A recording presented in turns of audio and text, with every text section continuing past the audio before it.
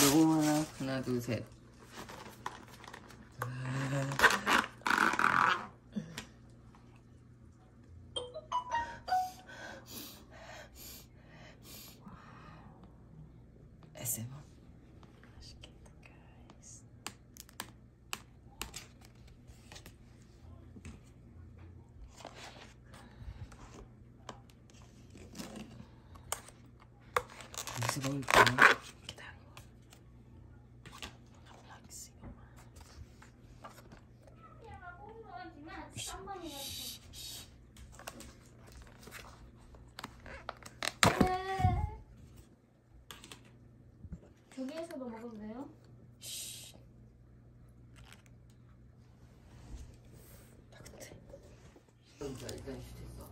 Hello mga bebs! Welcome back sa aking channel. It's Sabado po ngayon. Sabado ngayon, tomorrow ay church day. So, nag-vlog ako kanina. Yung lunch namin, natuloy din yung carbonara namin. So, yung lunch namin ay carbonara kanina. So, si Echan yung bumili, nag-inutusan ko siya kasi gusto din naman niya. So, nag-share-share kaming tatlo. Tagti 10,000 won kami. Yun, nag-share-share kami. Ayun, so, busog naman ang lahat. Busog naman kami. Sobrang dami ng ano ng carbonara, sobrang busog. Tapos ngayon, kauubos ko lang ngayon eh, alas alas ano na, alas 4:30 na kasi nga kanina medyo busog pa ako nung magla-lunch na, medyo busog pa ako. So, hindi ko naubos agad yung carbonara. So, may natira ako. Sabi ko, mamaya na lang to ulit kainin. Kasi, yun, naligo nga ako. Tapos, ayun. Tapos, ngayon, kinain ko. Tapos, nakisalo na naman si Yeram. Si Yeram, naubos yung carbonara niya kaninang nag-lunch siya. So, si Yechan, konti na lang natira. So, ngayon, kinakain na naman niya yung carbonara. So, ngayon, nag-order ako dun sa um, ino-orderan ko mga bebs ng mga Philippine goods, Philippine food. Nag-order ako sa kanya ng, wait lang. Ayan, meron pa tayong pring, ano oh, carrots. Kasi siguro may tanim sila. So, ayan, may free tayong carrots. Ayan. Tapos, ano pa ba yung order ko? Nalimutan ko. Ay, meron pang pring chocolate. Ah, masarap to mga bebs, oh. Pang diet din to, pang diet. Ayan. Free. Tap, ayan. Ayan, nag-order ako mga bebs ng sayote. Kasi na-miss ko na, naubusan na ako ng sayote. Ilang buwan na yun. ilang buwan na rin yung nakaka... Nung November pa yun, 'di ba So, ayan, wala na akong sayote. Kaya, nag-order ako ng sayote. Ang late ng sayote. Ano? Pero okay lang. Ayan. Tapos, nag-order din ako ng atay ng baboy, mga bebs. Ay, atay ng baboy. Atay ng manok. so, ayan, nag-order ako ng atay ng manok. Meron sanang okra, kaya lang sabi nung nagde-deliver, ng inorderan ko, hindi daw siya, hindi daw nakapasok sa costume yung okra, kaya walang okra. Pinapa-order pa nga akong tinapay, sabi ko, ano, hindi muna kasi ah, meron pa akong, kasi nag-order ako sa kanya ng hopya. Hopya, at saka yung hopyang bilog, at saka yung hopyang pahaba siya, 'di ba? So ayun, meron pa akong ganun kaya hindi muna ako nag-order ng um, tinapay na pandesal. Kaya ito muna, sabi ko sige, ano muna, sayote na lang. Ay, parang masisira to. Sayote na lang at saka atay ng manok. Ayan. So ayun lang mga bebs. Tapos bukas ay meron tayong church tomorrow. Ay may free din pala tayong ano oh. Um, tea. So, ayan mga bebs. Mamaya pala, ayusin namin ni Yetsan tong rug namin. Ayan, rug. Followin ko lang ha. Ayan. Yung rug na green, di ba dati nandito yun sa harapan ng TV natin sa sala. So, ang gagawin ko, sayang naman siya kasi tinag, nung bumili kami nito, ito, nung binili ko itong mga bebs, um, tinago ko yung green, tinanggal namin yung green nilagay namin sa cabinet. Pero naisip ko kaganina, na sabi ko, ilagay ko na lang kaya ulit yung isang green kasi sayang naman. At kasi at least uh, pag naglalakad ka hindi maingay sa ibaba. So, ang gagawin namin, itong ay, aray ko, sensya na busog. So, itong cream na to mga bebs, meron pa siyang sobrang space dyan. So, iusog ko na lang tong cream. And then, para magkasya yung green mga bebs dito banda. So, ayan, naayusin namin ni Yechan to. Hindi ko alam kung maayos namin to or hintayin ko na lang si Mister.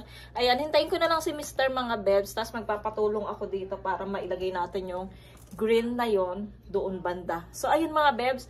Mamaya na lang siguro pagdating ni Mister. At saka magpaplansya muna ako ng buhok. Kailangan ko munang patuyuin to. So, see you! 2,000 years later. Good evening na mga bebs. Mag alas 8 na. Pasensya na, ngayon lang ako nakapag-update. Kasi kanina, um, ano ba yon Kanina, um, pahinga lang ako. So, ayan, naayos na namin pala mga bebs yung, ano, yung rug. Ay, ano ba yan? Yung carpet, ayan. So, kanina dumating si Mister. Hindi ko na na-vlog. Nalimutan ko kasi naka-charge tong si cellphone. So, ayan, naayos na namin siya mga bebs. Ayan, oh. Kita nyo naman. Tapos, ayan. So, itong rug na to, hangga doon na siya. Dati kasi, hangga dito lang siya mga bebs, yung rug na yan. Sa, pinu, inusog namin siya dito para magkasya yung rug na malaki doon. Kita nyo ba? Ayan, para magkasya yung rug doon. Para hindi na natin buhatin yung maliit na rep para ipasok doon yung rug. Ay, yung carpet. So, ayan mga bebs. Si Mister at saka si Echan ay... Wait lang. Ayan, pasensya na yung bangs ko. Nag, ano siya, nag... Ano, nagsobra siyang curve. Ano ba yun tawag doon? Basta, kinurler ko kasi siya. So, ayan na mga bebs. Si Mister at saka si Echan. Pagdating ni Mister, naligo lang siya. Tapos inayos to. Tapos, nagpunta sila ng church. Kasi every Saturday meron sila. Nag, nag, uh, nagda-drum si Echan sa church. Ay, nagpa-practice siya. Yun. So, uh, mag-aalas 8 na, inihintay ko siya kasi um, nagpabili ako ng side dish na ikwento ko sa inyo. kasi, yung ate ni Mister doon sa pinupunta namin sa resto, so nanonood siya ng vlog namin. So nakita niya yung mess, pagkakain kami, 'di ba? Dinner namin. Nakita niya yung mesa namin. Isang putahe lang yun nandiyan or dalawa. Either yung ulam natin sa Pilipinas, yung niluluto ko and then yung kimchi. So, nakikita niya yun. So, nachika niya yun nung isang araw nung, nung Thursday. Sabi niya, bakit ano, wala kayong ulam? Sabi niya, ba't iyon lang yung kinakain nyo? Ano, ganyan-ganyan. Sabi namin, ano po, ah, nasanay na po kami kasi po ganito kami dun sa Pilipinas. Tapos si Mr. nasanay na rin siya na walang mga side dishes. So, um, kaya ayun po sabi namin. So, ay naku, sabi niya hindi ako ma uh, mabubuhay ng walang mga maraming mga nakal nakalatag dyan sa mesa, sabi niya. Sabi ko sa Philippines po kasi ganyan, sabi namin. So, ayun, so si Mr. syempre, sabi niya, oo, ganun, daw, ganun lang po. Ganun kami, pero okay naman, busog naman kami, sabi niya. And nasanay na rin ako, sabi ni Mr. So, ayan, sabi ko, uh, kay Caleb ngayon, bili siya ng mga side dishes para pag blinag ko, makita naman ni ate na ano, meron tayong ano dyan, mga uh, maramihang ulam, sabi ko. Kasi nanonood kasi si ate sa aming vlog kahit na hindi niya maintindihan yung mga salita natin, salita ko kasi Tagalog. And then, ayun, pinagmamasdan niya lang yung, tinitingnan niya lang yung pamumuhay namin dito sa bahay. Kaya nanonood din siya ng vlog. So, curious siya, mga bebs.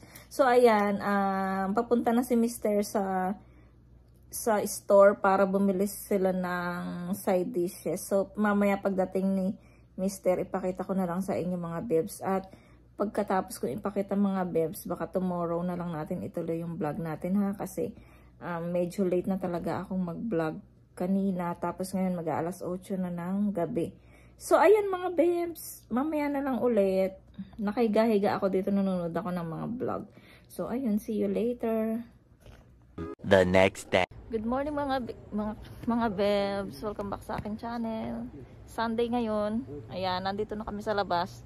Hinihintay namin yung asawa ko na pinainit niya muna yung car sa parking. Tapos, dito kami sa labas. Hinihintay namin siya. And, ay, naku. Medyo malamig yung ano, yung hangin. Pero, ay, kumikinang yung mukha ko. Pero okay lang yung weather ngayon. Ito yung aking outfit. Ayan.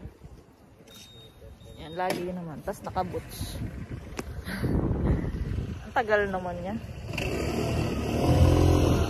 Ayun yung mga bata. Dito pala yung bahay namin mga bebs. Ayan.